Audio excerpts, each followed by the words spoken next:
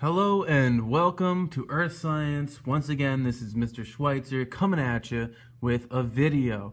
Um, so today we're going to be learning about planets' orbits. Um, we call a planet's orbit an ellipse. Now, here's an example of an ellipse, right? So you would normally, like, if you asked a second grader what the shape of this orbit is, they'd probably say, ooh, ooh, it's a circle, or ooh, it's an oval, right? Because an oval is really just a circle that's been stretched out. But in this case, because this is earth science, because this is high school, we don't call it an oval, we call it an ellipse, right? So question number one here, state the shape of a planet's orbit. Eh, we do not say oval, we say ellipse, E-L-L-I-P-S-E, right?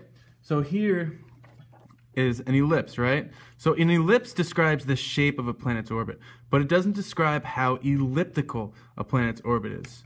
So we got our orbit here, also known as our revolution. Um, we're asked here, how, uh, no, where is the formula for eccentricity? Well, in earth science, we get this nice, beautiful thing, the reference table, and the equation, aka formula so the little math we use for eccentricity is distance between foci and length of major axis. Now what does that mean? Well, we use that for page one of the reference table. What is eccentricity? Well, we know an ellipse is the shape of an orbit, but how do we know if an ellipse is going to be really stretched out or really almost a perfect circle? We use this right here.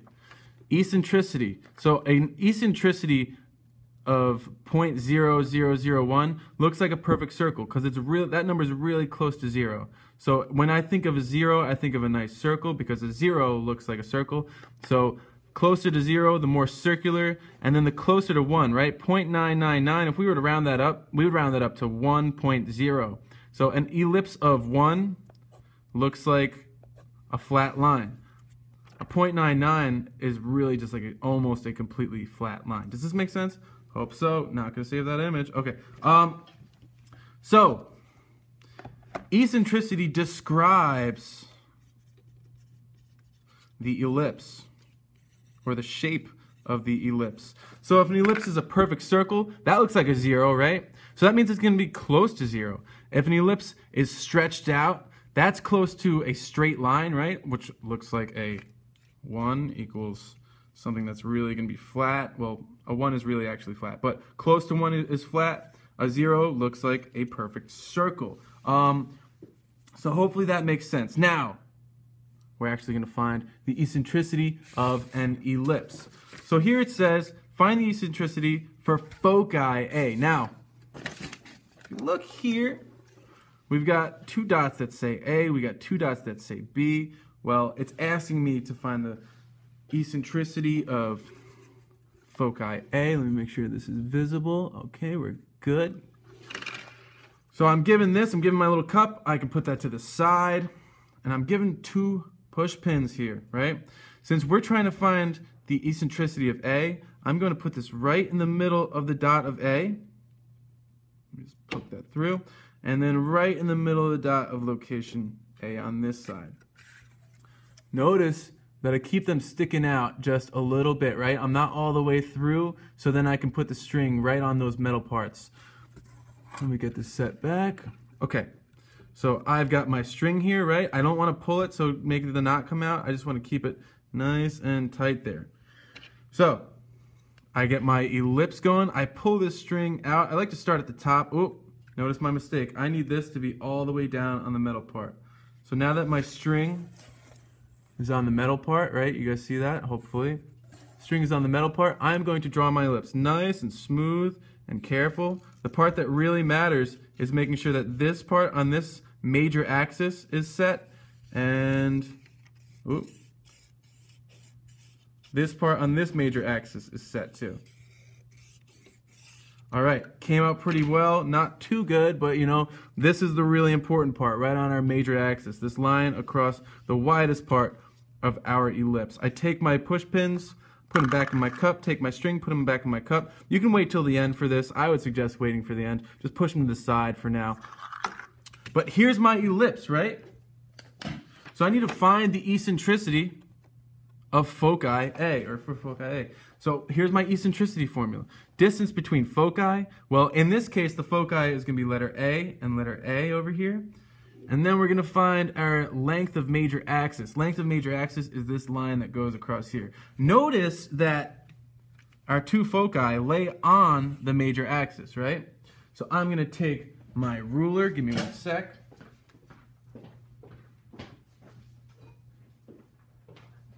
Now, since this is a science class, are we going to be using inches or are we going to be using centimeters? All right, hopefully you said it. Hopefully you said centimeters. So I'm going to find my distance between my foci and I'm going to be as accurate as possible. So let me get my head in here. I got to have that right over the dot and then this right over the dot. I've got 3 point between 3.8 and 3.7. I'm going to just choose 3.7. So I got 3.7 centimeters divided by, let me go back to this. So I got my distance between foci. Now I need my length of major axis. My length of major axis is going to be from one end of the orbit to the other end of the orbit. So I put zero. Remember, zero is this mark right here, not the edge of the ruler. This mark here, this long is the, the start. So I get that perfectly lined up there, right along my major axis. And this number is going to be just about 17.8 hmm, centimeters. 17.8 centimeters. Oops. Let's find the calculator.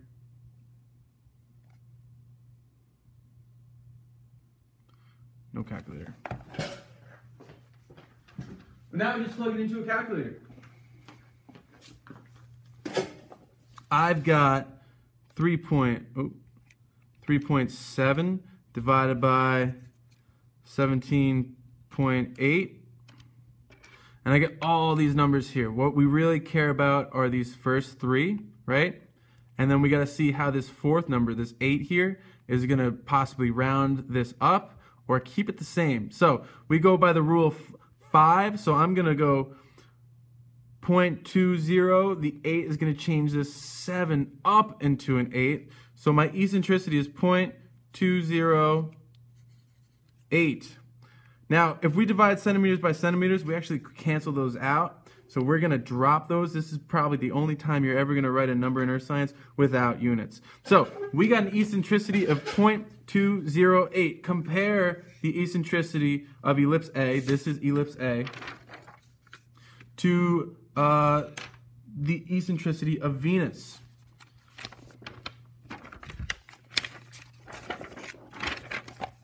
Here's Venus right here and I'm going to look along the top column, eccentricity, oh, there's eccentricity, eccentricity of orbit. So Venus's eccentricity is 0.007.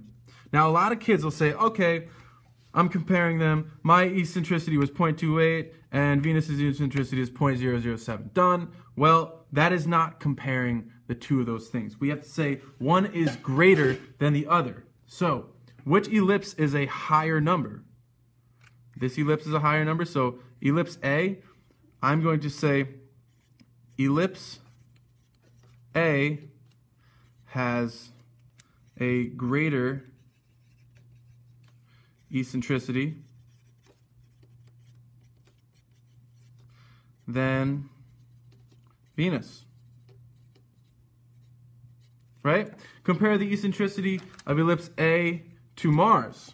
Mars has an eccentricity of 0.093. 0.0, look at that zero. That zero comes after the decimal. I've got a two right after the decimal. So the eccentricity of Mars is also going to be less than my eccentricity. So I'd write ellipse A has a greater eccentricity than Mars, right? Now, here's the real interesting part. Place a hashtag on the ellipse. Here's my ellipse. Place a hashtag on the ellipse where the planet's speed is the greatest. Where is this planet going to be moving the fastest? Well, First off, we've got to decide whether this is going to be our star or this is going to be our star. So I'm going to write, um, just going to randomly choose this one. That's my star. Okay, so since my star is here, let's take a look at this image here. Where does this planet move the fastest? When it's all the way away from the star? Look slow there. Or right next to the star? Boom, boom, boom, boom. There it goes, real quick around there. Okay, so it's definitely gonna be fastest near the star. I am near my star. I need to place a, place a hashtag where the star is gonna move the fastest. Here's the key part. This is our major axis, right? Star is always gonna be moving the fastest and the slowest somewhere on the major axis. So my hashtag is gonna go right on the major axis, right? As accurate as possible. I'll even put a dot. That's where my planet's gonna be moving the fastest. Now, if we want to find out where the planet is moving the slowest, we're going to place a money symbol, because I'm money, uh, where the planet is moving the slowest. So fastest here, that means all the way on the other side of our major axis. I'm going to do my money sign. That's where it's going to be moving the slowest. All right? So, planets always move the fastest when they're closest to the star, and they move the slowest when they're furthest from the star. It's always on the major axis. This shape here is an ellipse, right? It's a stretched out circle, not an oval. And the number that we give to this ellipse is called the eccentricity, which is whether it's going to be close to zero, where it looks like a perfect circle. This one's, I mean, to your eye, it looks like a perfect circle, but it's a point two, so it's not perfect. And then if it's close to one, so if we round this up, it'd become a one, it's a very flat and long ellipse there, okay? That'd be like a comet has a nice long ellipse. So hopefully this made sense. Hopefully you think I'm cool. Hopefully life is good. It's May. It's the end of the year. Let's start killing it. Good luck.